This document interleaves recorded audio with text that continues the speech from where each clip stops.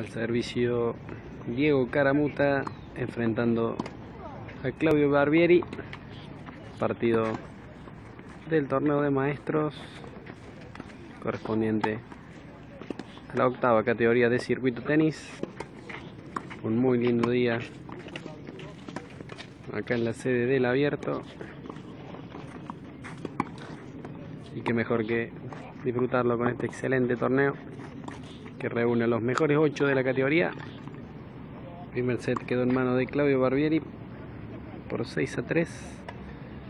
Y ahora estamos en el primer game de este segundo parcial. El servicio Diego 0.30. Excelente y luego 0.40 triple oportunidad de quiebre. Segundo servicio.